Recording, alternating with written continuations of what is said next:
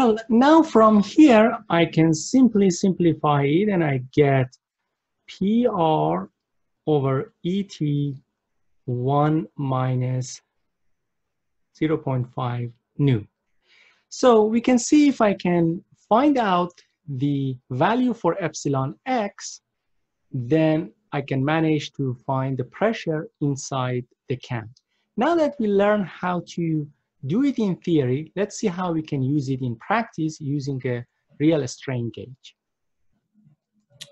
Well, well, over here I have a strain gauge.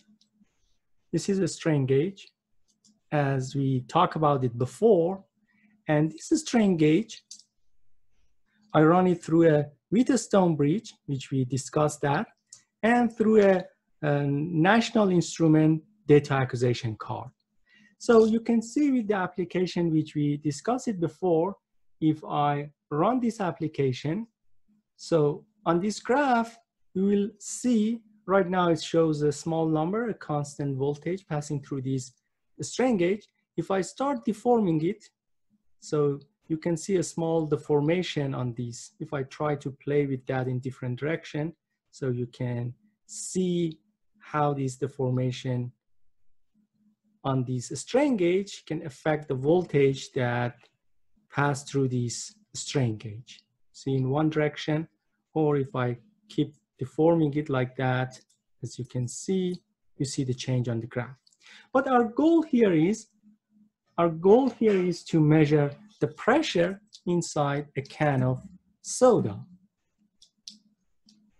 So to do so, we need to attach this strain gauge to basically to this can, to this can, which has its own process, which I've done it before. We need to clean the surface and securely glue this one to the surface, which I've done it before. Now let's use the one that I've done before. Here is the one that uh, I attach before the strain gauge and I put this tape on to protect the wires and everything. Now what I'm planning to do is I'm gonna put a tray underneath of that. I'm gonna open this strain gauge that you see from this view and I'm gonna run the application.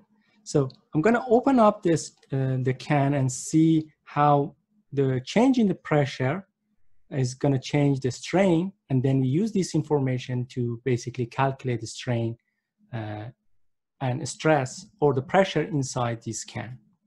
Now, when I'm opening the can and pay attention to the graph, and so we can see how it, it changed when we open up the can.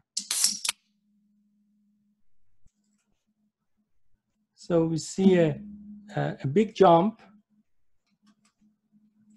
Let me stop the data.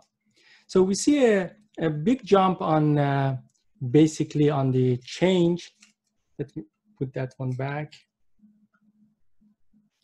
um, in the value for epsilon, if we